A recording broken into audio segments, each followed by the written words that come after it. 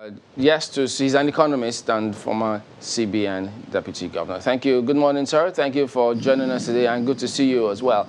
Um, Great nation, good people.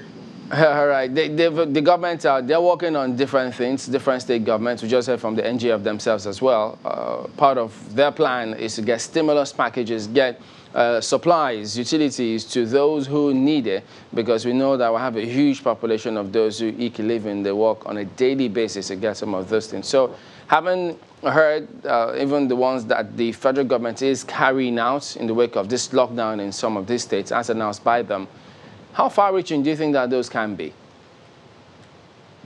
Well, um, we hope that they will reach as many people that need uh, these palliatives as much as possible. Uh, one of the constraints is, of course, lack of data. We don't have a social mapping of vulnerable groups in this country. And so a lot of it will be based on guesstimates as to where such people, who those people are, where they live, and so on. You don't want to end up giving food to those who really already have more than enough but really targeting the most vulnerable and, and particularly the destitute and, and the physically handicapped. Uh, people at the lowest uh, order of society uh, who would really be under serious difficulty at this time uh, because many of them live from day to day. You know, the mama that sells akara, that sells akamu by the corner, and you know, and all those people, the, the vulcanizer, they live on a daily basis from the income they make uh, on a daily basis. And so we have to be very sensitive uh, to the needs of this, this particular category of people.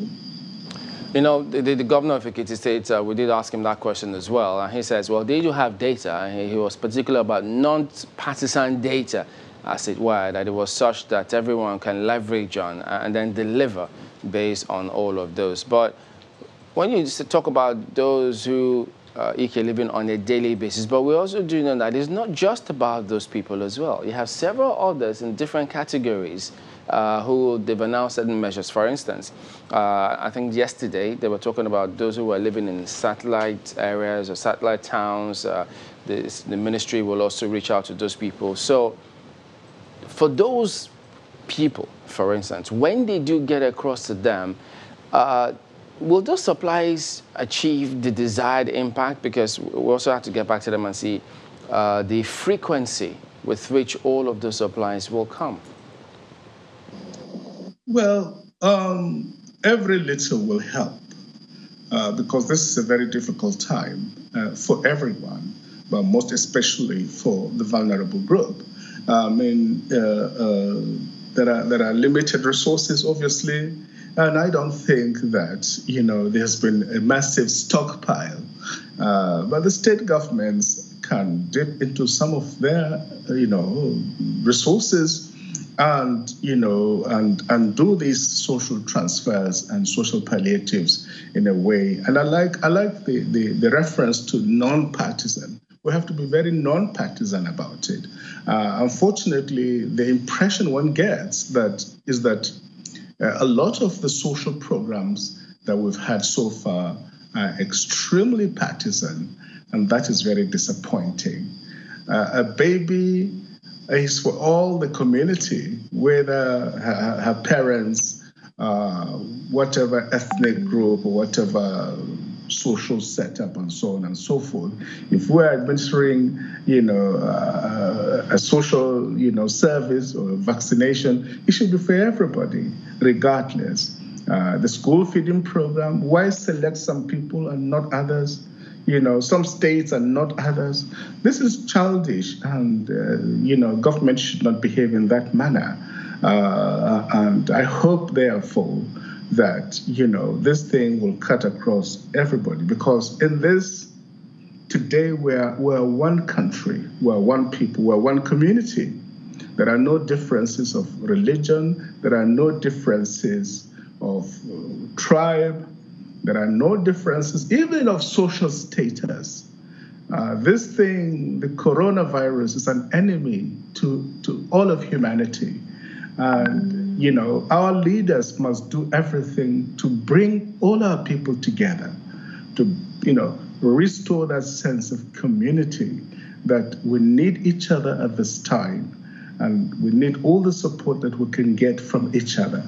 So this is really the time to really rebuild the spirit of community. You know, regarding that, because some of them did actually say that those uh, intervention programs, uh, they just thought that, look, we reached out to most, if not all states with that, and that some of them said they don't understand how anyone can say that those details are, those data are partisan. But speaking on a broader perspective, can we sustain this if this continues for three months? what should we be doing? How should our approach be? I know they talk about diversification, doing something about the agricultural sector, but if the mainstay of the economy keeps taking a hit, how far can we go? Well, you know, I put my trusts in the resilience of the great Nigerian people. Uh, we are a very strong people. And when push comes to shove, we can be very strong and resilient. So I put my trust in that resilience of our people. And also, Nigerians are very generous. When we face imminent danger, there's a way in which communities tend to come together. Our kinship ties have not completely been eroded. And, you know, people will fall back on those kinship ties on those bonds of solidarity that hold communities together. And uh, well, nobody has a date for this thing, and uh, it will continue perhaps for a shorter time, perhaps for a longer time. We don't know. But I think wisdom requires that we prepare for the worst while hoping uh, for the best. Do you think maybe that's why the government is still holding off on this? I mean, the request by a lot of people, in fact, the proposal by people for some form of stimulus package, stipend here and there, 10,000 naira. Do you think the government is thinking, wait, we need to hold on to the, the little in quote that we have, so don't let's throw the money around just yet? Do you think that's the thinking behind that? Well, I don't know I cannot uh, think for government, and I cannot second guess what their thinking is. Uh, one is hoping that somebody out there is doing some long term strategic thinking uh, and you know preparing for any form of contingencies. Uh, I think some resources should be made available. Uh, the cash aspects worries me a little bit. Not because I don't believe in it, but I'm worried about its administration. And especially when we saw uh, that, you know, this TraderMoni was intensified just before the elections. And after the elections, it went quiet. And it was very iniquitous that uh, it seemed to have been selective, you know, and uh, like I said, it, it's childish you don't run, run a government as if it's a child's play. You run a government with a deep sense of responsibility and accountability.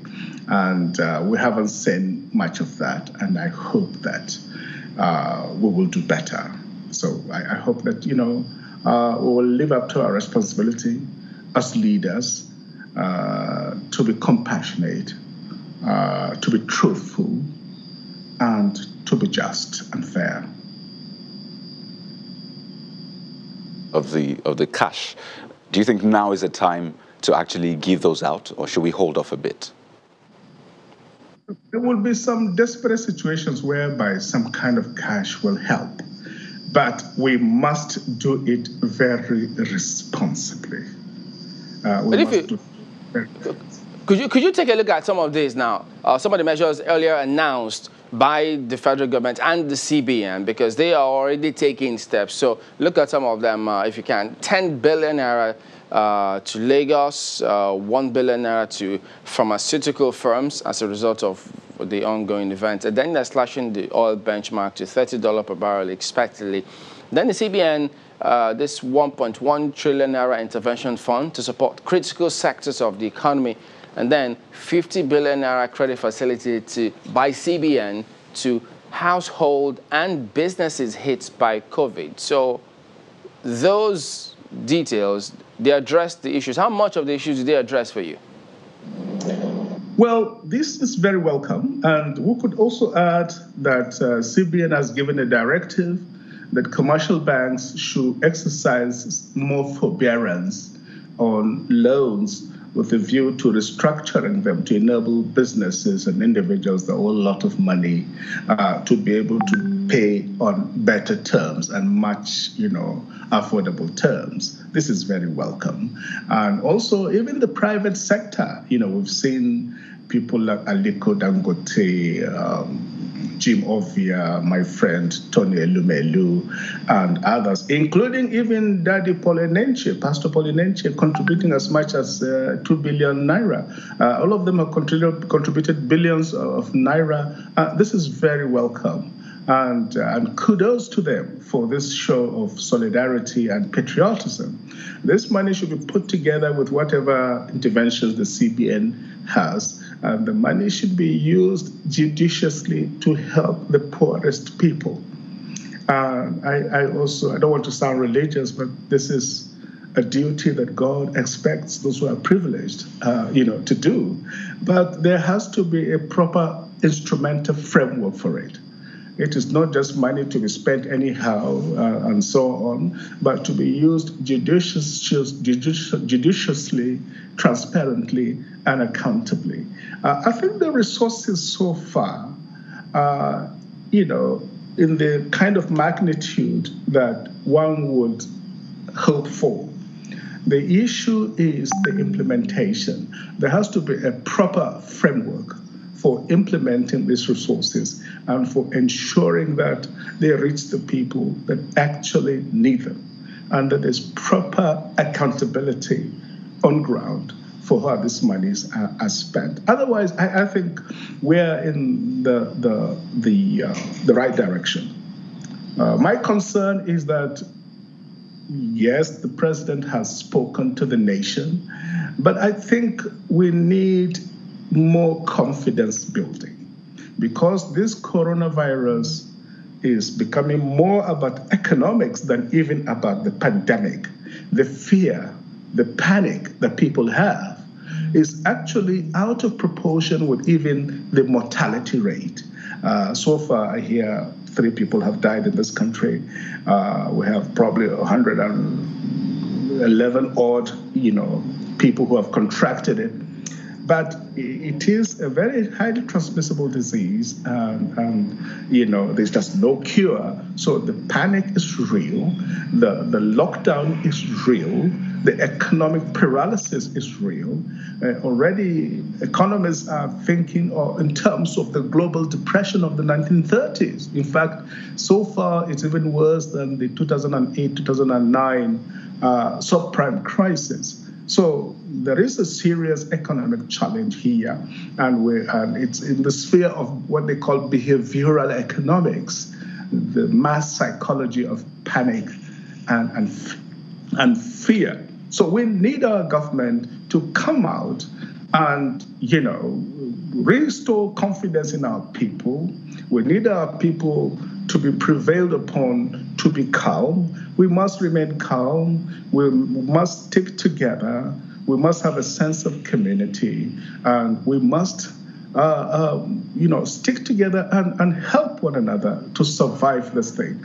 Uh, I'm not seeing that leadership being exercised in that manner uh, compared to what, for example, Paul Kagame in Rwanda. He's going door to door, ensuring the food is given. The president of Rwanda is going to do it himself to ensure that things are done, not hiding somewhere and, and talking to the people through some, you know, form of uh, technological uh, gadgets. Ifa, Okay, we, we, we'll, uh, we'll appreciate your thought this morning, uh, but uh, we'll attempt to see if we could get one of the members who are response, charged with that responsibility to address some of the issues we've raised. We'll attempt to get them on board in a moment and see what their response will be. But we do thank you for your thoughts this morning, Dr. Obadiah Mailafia, an economist.